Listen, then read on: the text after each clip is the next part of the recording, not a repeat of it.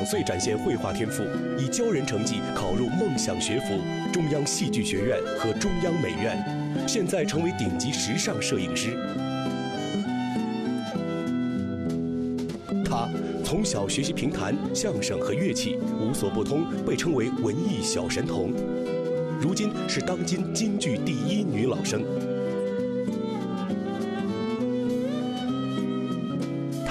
专业古筝，却在时尚界立足，从职场白丁到领军业界，她在职场尽显沟通和经营的天赋。陈曼、王佩瑜、苏芒，三个发现了自己天赋的幸运女人，讲述成长故事。发现你的天赋，你也能成为幸运的人。天下女人天赋系列即将播出。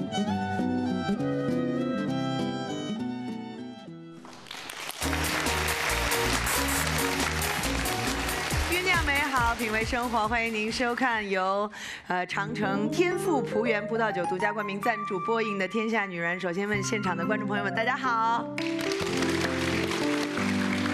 非常高兴看到大家灿烂的笑容，又到了周末的时间了，呃，也来到我们新一期的节目。那我们呃最近呢会呃连续的来介绍一些女性的领导者，就是在他在一个单位啊、一个企业呀、他要承担着这个领导的这个职能啊。其实这个不就是你吗？杨对啊，你介意人家这么说吗？哎呦，杨澜，你就是女强人哦。其实做一个工作，男人女人都一样的，你不能认为别人要叫你女强人，你就不做了。但是，所以我觉得“女强人”这个词对我来说并没有太大的压压力。但是，我是觉得有一个词可能会压力比较大一点，什么词？就现在有人说叫“女魔头”。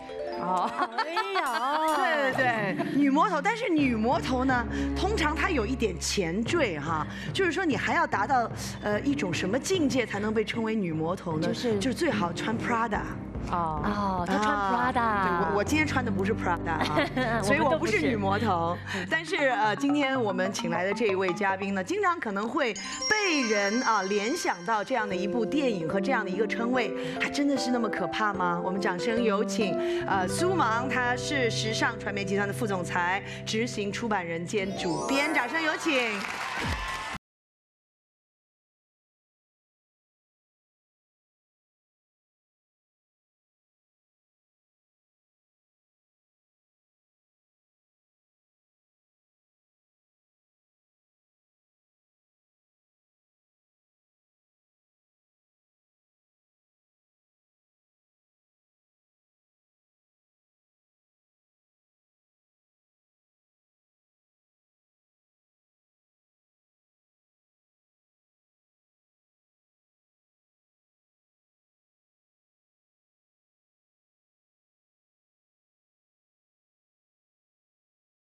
到苏芒的时候，常常会觉得，哎呦，是个女明星吧，对不对？她真的有非常这个这个亮眼的这种气质和呃和外貌啊。然后我跟她呢，因为认识很多年，我就突然注意到一个细节啊哈，我没见她穿过袜子哦。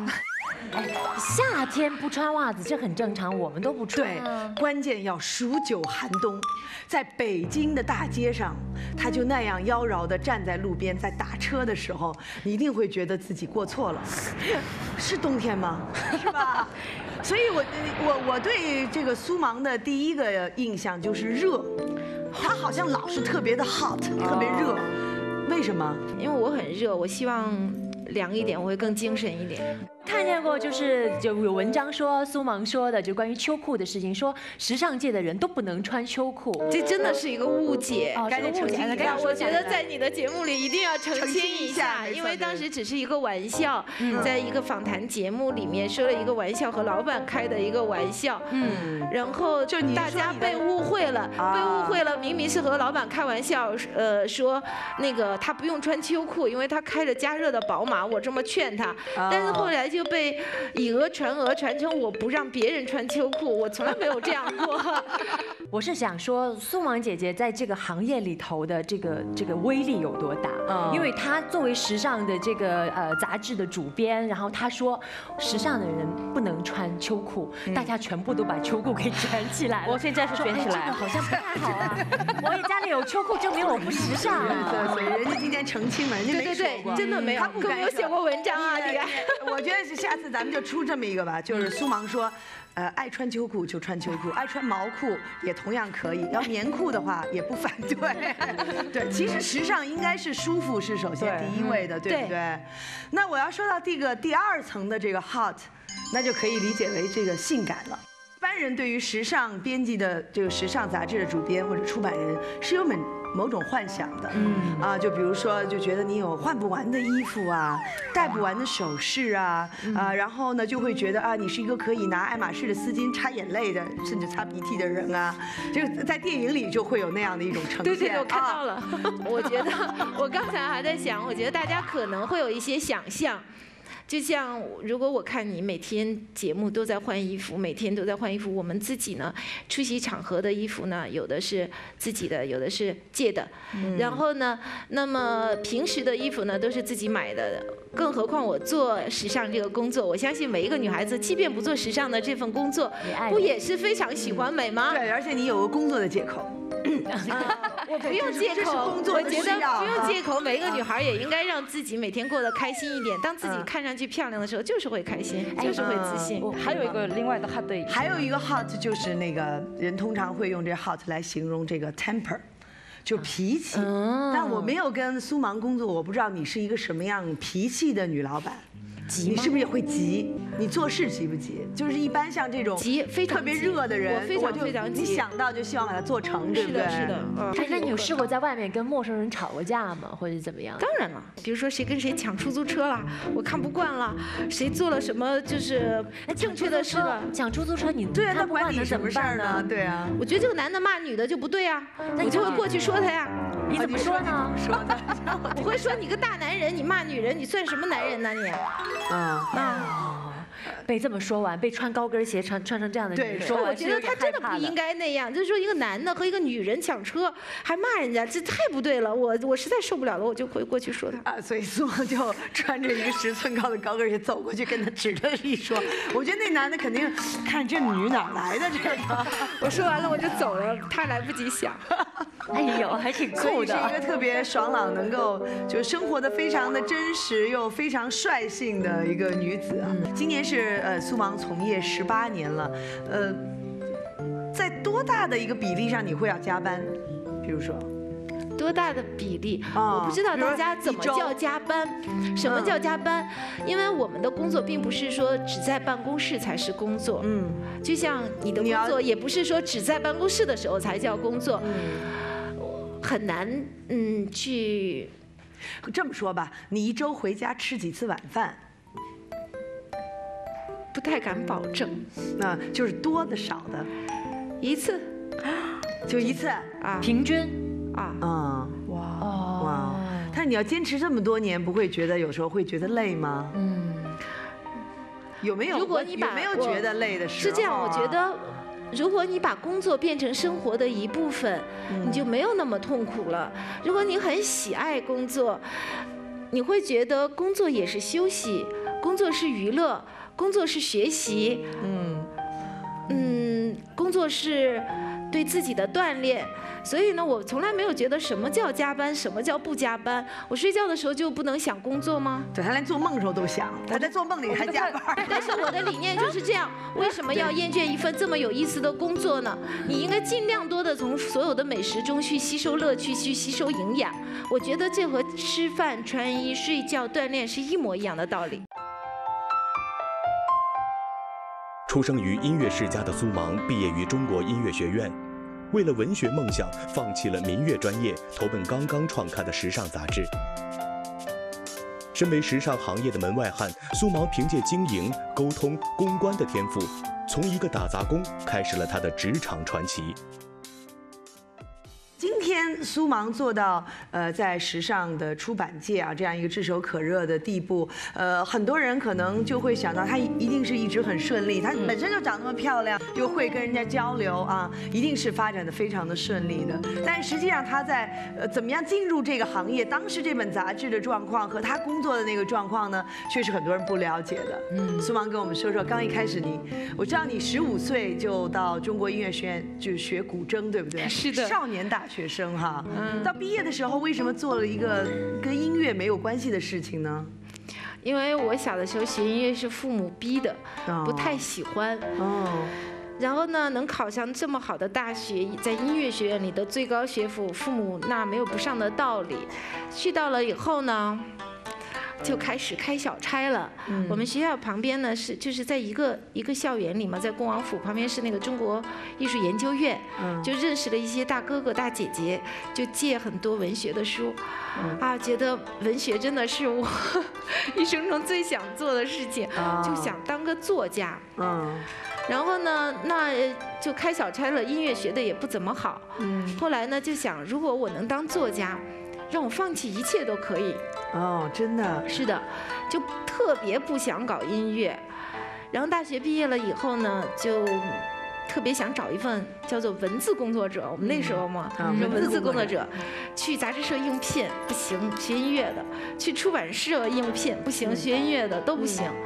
然后那个时候呢，忽然间有一个这个姐姐介绍给呃时尚的原来老板吴红先生，嗯介绍给他。去的时候他们刚刚创刊，嗯。然后呢他们就我记得当时好像是在哪个胡同里，小平房类似那种，是吧？嗯西表背胡同，然后一个那个小平房里，然后我们就去，我就去的时候，他就说你想做什么？我说，你只要让我写字，你让我做什么都可以。啊，啊，这句话可容易被误解啊！现在不能随便说这句话。是吗？啊，然然后他让你做了些什么呢？什么都做啊。写字，然后除了写文章以后，比如说做饭啦，啊广告啦还啦，要做饭啊催款啦，嗯去收钱呐，嗯！抄信封啊，递杂志呀，然后就所有打杂基本上找了一个打杂的是吧？我打杂呀，大家都是一样的。我们在创刊的阶段，并不是像现在这么成熟。话说也是十七八年前了，没有这么成熟的一个行业规范。每个人都是希望把吃奶的劲儿都使出来，去做一本好杂志。也没有那么大的资本，没有那么好的条件，没有互联网，没有电脑。那个时候连排版都是自己手工画版的。哦对吗？所以说，我觉得创业的时候特别快乐，大家都像一家人一样。我到现在还是很怀念那种时光，很让人留念留恋的，就非常单纯对和投入的哈。对但你刚才说的打杂那些事儿，我对做饭这些不感兴趣。哎，我对那催款特别感兴趣。我也是，我觉得就他这样 去催款，一般催款不都是那样的吗？彪形汉去催款。我去一个地方去催款的话，我也会非常规范。我去了以后就是跟人家讲，我说啊，我要把这个钱拿回去，我要拿支票。哎，咱们假假装假设一下比如假如我欠你们公司钱了啊。嗯，我们还有两个秘书秘书。我是保安，保安是保安，那时候保安也不多，我估计。我就会坐在你这里等你，我会从你来的时候我就坐在这里静静的等你。啊我见到你一次就站起来一次，然后就跟你说一次，我老板说了，我需要把这张支票拿回去，你该付我钱了。然后呢，啊我会很礼貌，然后你说我在开会，我说我就坐下来再等你，我一直等到你要走，对啊，我说我今天没时间了，再约吧。那我就再来呀。嗯，再约你跟我秘书约吧。嗯我不用约的，我直接会来的。啊我一直坚信，如果说人家不愿做的事，人家还能约你过去，这是不太可能的。啊不如你直接就过去吧。我直接就过去，所以你一直坐在那儿。对啊，我觉得我一直到现在都是这样的，就是说有什么事情你想做的时候，你就去直接的、主动的去告诉别人，啊很少有人会拒绝你。哎，我觉得其实是这样的，其实是这样。有些人就是说怕被人拒绝，是是是反而是是什么发个电邮啊，呃，什么发个短信啊，打电话的有时候都不敢，发个短信。啊，对对对对，其实其实别人是需要看到你的啊，所以后来你当你把这个支票拿回去给你们老板你们老板觉得意外吗？吓坏了，他说啊，你怎么拿回来了？我说你不是让我去拿回来的吗？然后他非常有涵养的，悄悄的把支票拿着就进房间了，他也没跟我说别的。我相信后来我才知道，原来不是那么难，不是那么容易拿来的。当然，也许他那个月工资都发不出来了，想这苏芒这女孩子真好，下个月还让她去催款。那以后就应该都让你催款了吧？也没有啊，我其实毕竟这个需要你催款的不是绝大多数，那很多都是拉广告呢。我知道你在很长一段时间是你们那儿负责这个广告招商的七年。对呀，那应该说很多，比如说有点文学梦想的女孩子说，不爱对，我是来你这儿那个做编辑啊，做记者的，你怎么让我去做广告？特别是有一段时间去拉广告，好像觉得不是一个业务人，就是不是一个专业人士应该做的事儿哈。是的，但是他们。他们就看到你有这潜质，能把支票拿回来。他们跟我说，那个时候我真的挺小的，然后挺傻的。然后老板就说：“呃，你来的时候，我们跟你讲，我们要做世界上最好的杂志，对吗？”嗯，我说对。他说：“你说过，为了做最好的杂志，你什么都愿做，对吗？”我说对。他说：“做杂志是需要钱的，我们越多，我们有越多的钱，我们越可以去做好的杂志。”我认为这说的是有道理的，然后他们就说，你去拉广告，为公司多赚钱，也是为了做更好的杂志做贡献。我觉得像革命战争年代。就跟一个小战士说：“你留在。”但那个时候不是那个时候需要。那个时候我真的是很小啊，因为你就十九岁二十岁嘛，对那个时候我真的很小，我真的听得进去啊。然后老板说什么就是什么呀。然后就说好就去了。然后怎怎么拉广告？你说说看，那时候怎么拉广告？他每天都早上起来想了一个，就跟我说：“你去这个地方去找这个公司吧。”我说：“哦。”这公司是哪儿啊？然后我也不知道是哪儿。哎，你公司是什么？然后我就查幺幺四。就你那时候拉这个广告是不是哪是哪个广告？就是查幺幺四的这个。比如说我有一次，呃，见到一个店，然后我觉得非常好，我就在那里等。然后我大概一直在那里等，等等等等等到店关了，要关了，因为他们说老板可能会来，老板可能不会来。嗯。我想那我就等吧。然后呢，大概店八点半关门。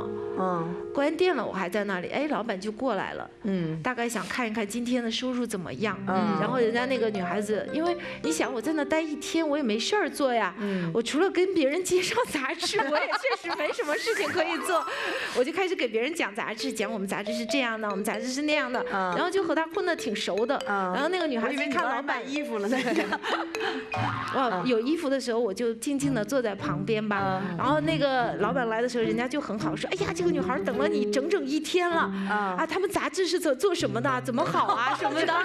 对呀。然后那个人说啊，你在这？我说啊，没关系。那个我说您还有空吗？他说你什么事啊？我我当时真的一点技巧都没有。我到今天不认为做广告需要很大的技巧，我认为只需要你去说出来你要做什么。我就说我是什么什么杂志的。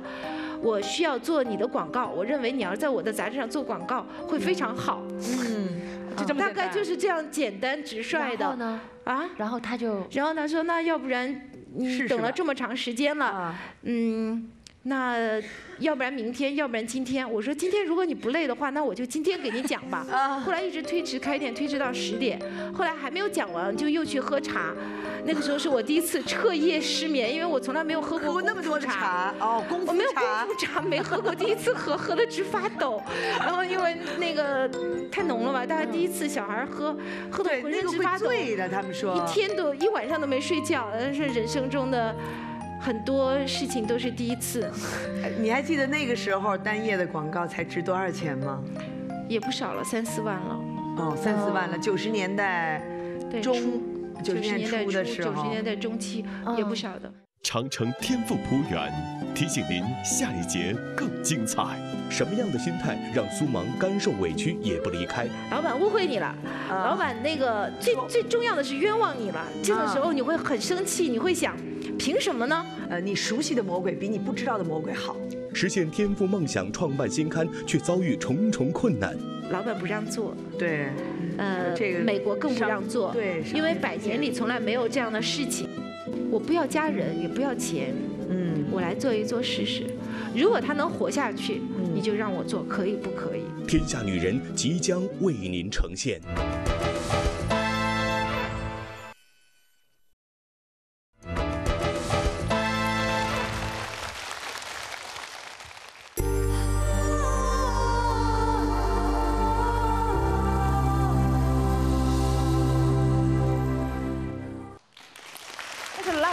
事情哈，刚刚开始你不是说你当时太小了不懂，但我觉得不懂做一年两年我能明白哈，怎么能做七年？而且因为是你是喜欢文学才进这个学公司嘛，特别是比如说要是同时进那个时候我跟老板谈条件的，我谈条件就是因为他需要我去拉广告给他赚钱，我热爱写作，我跟他谈的一个条件从一开始就是我可以一直为杂志写作，我有两张名片，一方面我可以去写作采访，一方面我承担着公司的这个，呃，收入的这个责任，然后去卖广告，和我的同事一起，也不是我一个人。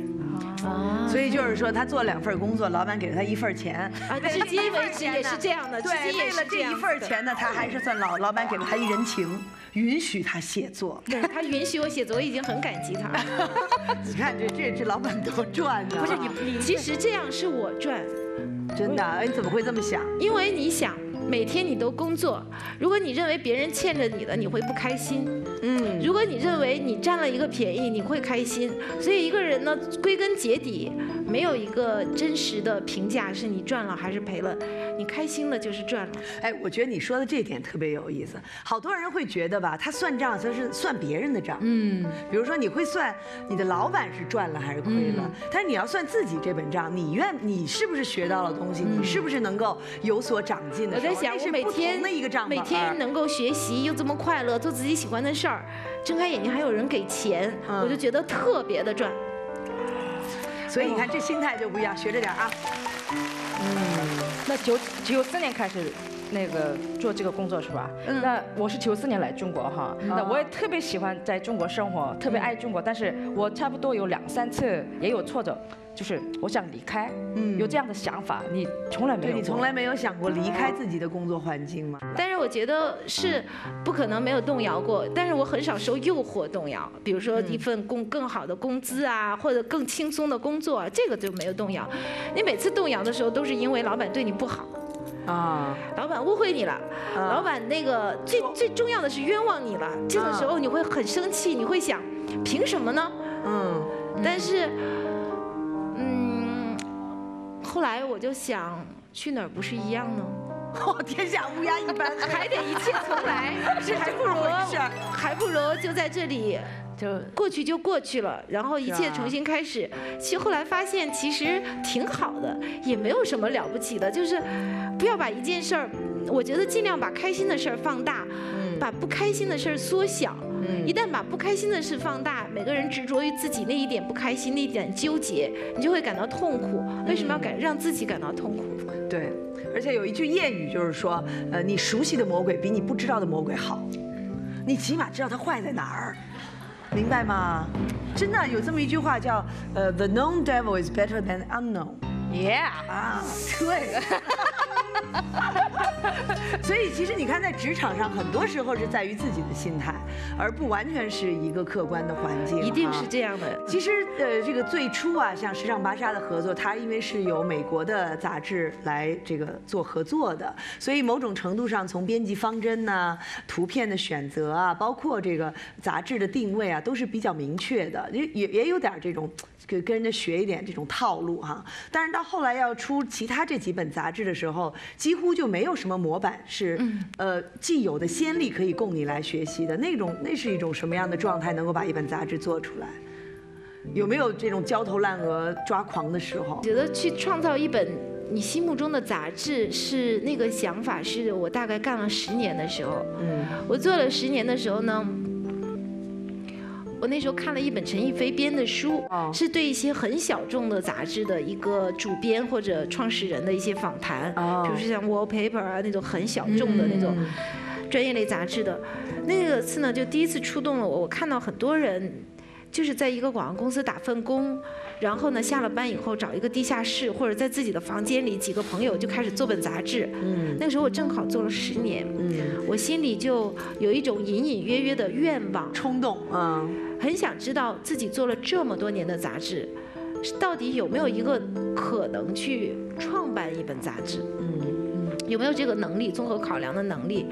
后来的那个时候，我记得挺清楚的。我参加了一个活动，叫倩碧，嗯，男士化妆品啊，一个 launch 活动，好像是。然后呢，呃，我在那里的时候呢，第一次听他讲到一个男士化妆品是倩碧创造出来的。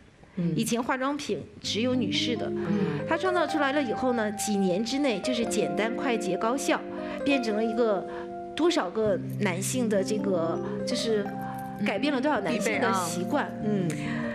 这时候就让我忽然的心就一动，嗯，嗯，我忽然发现原来事情都是由一个人做出来的，嗯，他需求可以被创造，嗯，对，嗯，然后就是需求可以被创造，任何事情是被人创造出来的，嗯，那天呢，我就揪着这个倩碧当时的一个负责人叫张金，我就把他揪到长福宫去跟他讲。这个东西到底是怎么被创造出来的？嗯，我心里就萌发了一个念头，就是想做一本男性杂志。嗯，这本男性杂志呢，既满足男性的中国男性喜欢成功事业的这个追求，又可以让这些商业人士变得稍微穿的好看一点，稍微时尚一点，稍微有品味一点，嗯，和女孩子接近一点，不要差距太远。我就萌生了这个念头，那在这个过程之中，我就想了很多很多，也和很多人交流啊。但我一般都放在心里，包括芭莎艺术，我和我们的徐宁主编，大家在心里想了两年了。嗯。嗯，在做之前的筹备工作呢，并不是像大家讲的要做一个漫长的读者 research 啊，然后去做那个时候大概是半年的时间，但是在你酝酿的，在你寻找到最好的表达方式的时候是很长的。嗯。可是那个时候不会得到支持的，呃，老板不让做，对，呃，这个美国更不让做，对，因为百年里从来没有这样的事情，嗯，这个时候呢就需要一次方案做上去，老板说不可以，嗯，第二次方案再做上去，老板说真的不行，我们公司已经有这么多男性杂志，男性杂志没有这样的市场，嗯，第三次那边外国说不可以，然后呢就这样一直一直下来的时候，我后来想了一个办法，我说。我不要家人，也不要钱，嗯，我来做一做试试。如果他能活下去，你就让我做，可以不可以？啊，嗯。最终的决定就是说，我没有要一分钱的投资，没有加一个人。我把这本杂志做出来了，而且到现在为止，它已经是中国的商务人士中阅读率第一的杂志了，男性的。嗯。所以说很多事情是你一个愿望，但是呢，你不要因为别人的肯定和支持与否而放弃你自己的愿望。哎，但是啊，说到这个做杂志哈，社会上也会对 做时尚杂志有一些其他的一些成见的啊。嗯。比如说你们就是给这些国外的奢侈品做广告的嘛，就是，然后就是成天写这些明。星的故事，反正都是说好听的啊，就是可以，然后鼓励大家，就是花很多很多的钱去很虚荣的事情。我相信你也不是第一次听到这样的一些评论，你怎么看待这种负面的这种评价？我们现在都不算的，我们刚刚创刊的时候，还有人写检举信，还有各种的这个重要的部门去找人谈话，说我们提倡高消费。现在已经没有人这么讲了。嗯嗯。就你怎么样去平衡它？你你刚才所说的，我我做这件事的社会意义和另外我觉得一个人的一个任何事情啊，你能够从物质中发现它的精神价值，这才是很重要的。我就回想起来，我们十几年前在中国还是一片时尚的沙漠的时候，我们用自己非常贫瘠的素材，去开始了中国的时尚化的教育。我觉得时尚化的教育不仅仅是说让一个人的外表变得更美，事实上它是能够透过外表去透视一个一个企业非常著名的企业它的精神，然后呢它的创意含量、它的艺术品味。长城天凤铺园提醒您，下一节更精彩。明星慈善夜前夕，苏芒却噩梦连连。今天做。没有人来了，明天做人来的太多走不了了，后天做梦灯忽然音响都没有了。Bazaar 明星慈善夜被指作秀，他又如何回应？我觉得做慈善是没有坏的。天下女人即将为您呈现。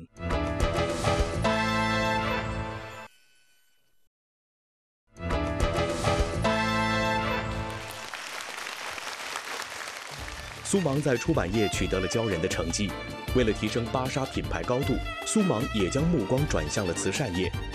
现在，芭莎明星慈善夜已发展成为中国规格最高、影响力最大的慈善活动之一。苏芒凭借自己的公关天赋以及勤奋的拓展，开拓了全新的事业领域。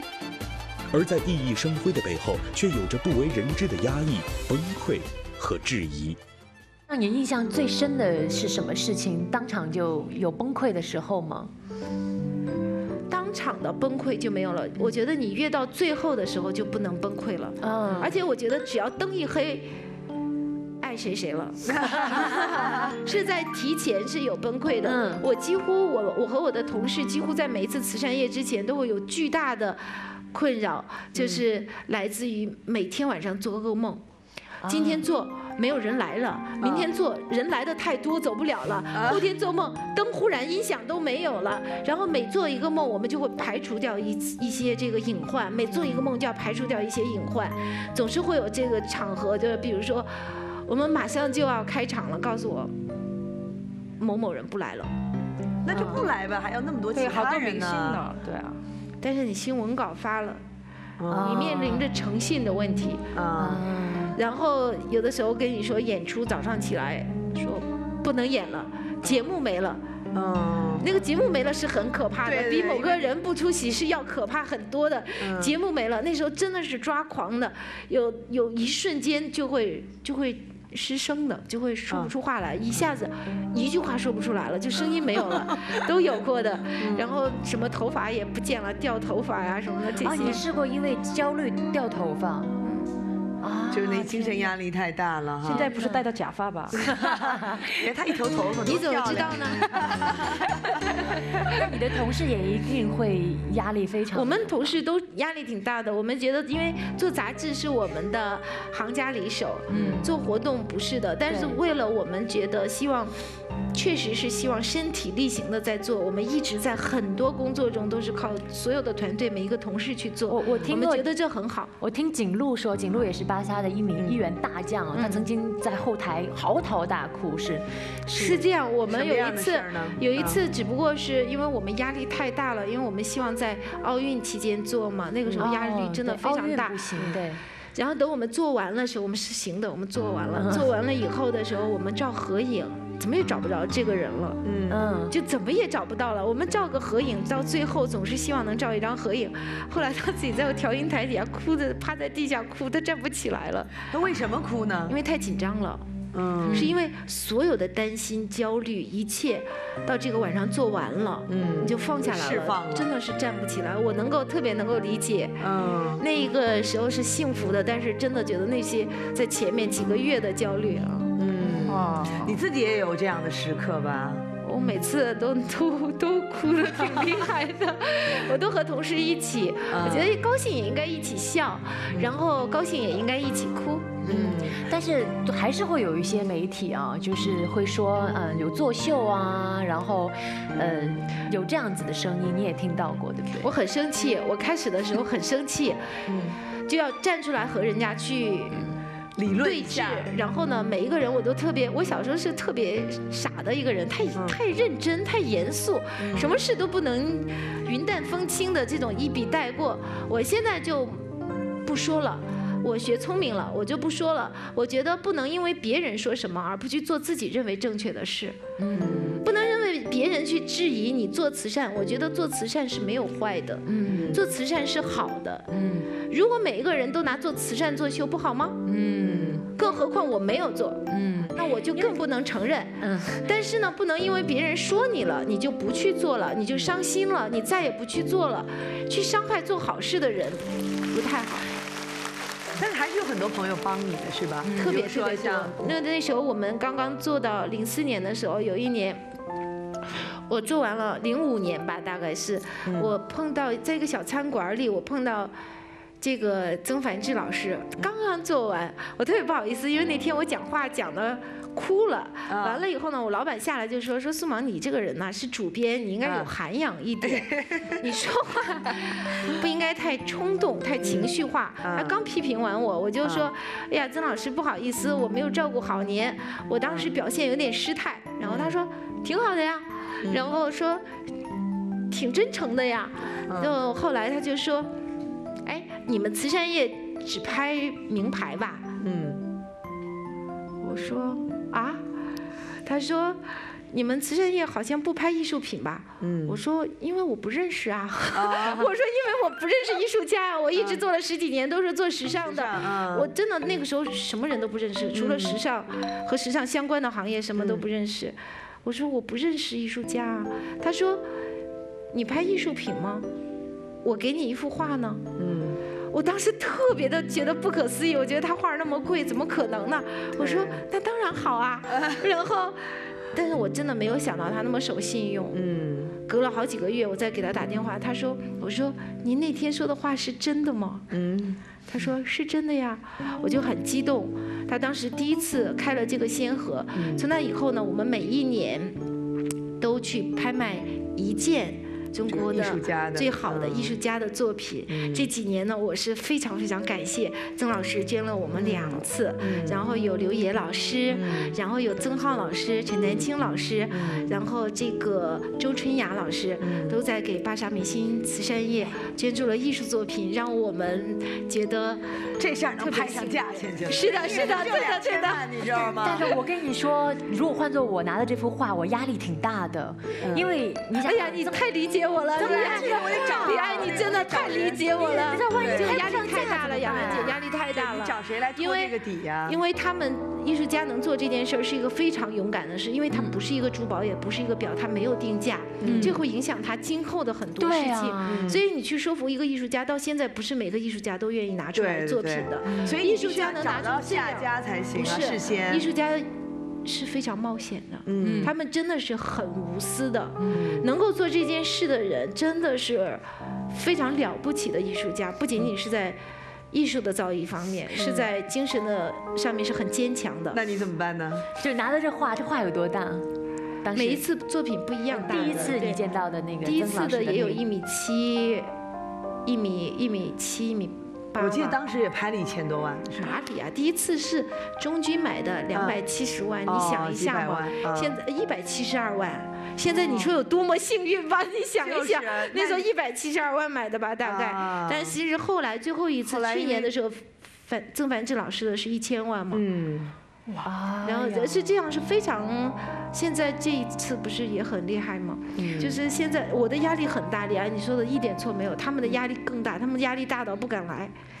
啊，到现场来，哦，那你拿的话，你有没有做什么就是事先的准备？因为你怕对不起这个曾老师，对，万一要流拍了或者很低的价格。是啊，我也是，我我焦头烂额啊，是反正就压力太大了，很多很多事的压力都很大。那你像这种事情，你有没有事先先跟一些朋友打好招呼？是，一定会有的。我觉得当你拿到艺术家的作品的时候是不一样的，因为平时呢几十万甚至上百万的东西呢，当一个人去做慈善的时候呢。是有这个可能的，你冒一点险还是可以的。嗯，艺术家的作品你真的冒不了那么多的险。嗯，所以呢，你前期一定要尽力的去了解，有谁对这个艺术家是特别喜爱的啊？然后呢，有谁是特别喜爱收藏他的画？呃，还没有机会的，所以说这些事情是比较复杂的事情，但是呢，要需要去做功课。你说做一个慈善，做一点事儿不容易。其实这个是，呃，苏芒和他的团队，其实这是他们自己找的事儿。对，这不属于他们的 见好就收，其实挺棒的。这个工作的 轨迹，这是也是他们对社会的一种一种责任。我觉得，真的今天非常感谢苏芒来到我们的节目啊。然后，呃，你你会看到他那个活着的那种热情。真的，他不仅是那个身体在发热啊，用工作的状态给别人、周围的人带来一种带来一种激情，嗯，而且他的这种真诚和热度会感染身边更多的人。呃，非常感谢大家收看这一集的《天下女人酝酿美好品味生活》，也再一次感谢长城天赋葡园葡萄酒对节目的大力的支持。关心节目的朋友也可以继续通过我们的天女网、我们的天下女人的微博、百度的贴吧以及呃新浪和精英网的我们的专业来继续了解节目的进展和我们幕后的花絮。再次感谢大家收看我们的节目，下周见。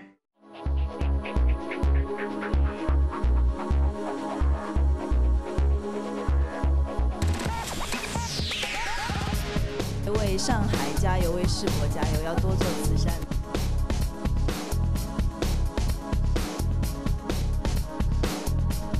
慈善是一个爱心的表现，希望我们每一个人都加入慈善的洪流中来。